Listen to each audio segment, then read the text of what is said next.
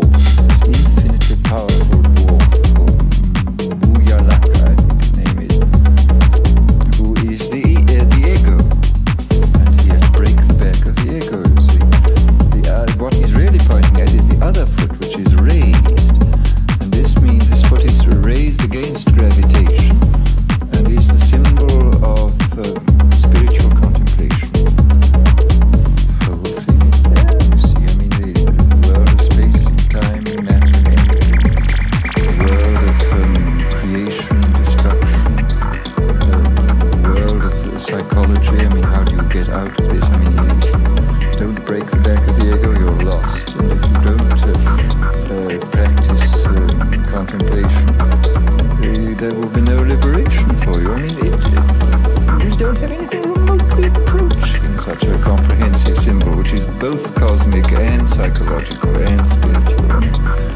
It's really a most unfortunate.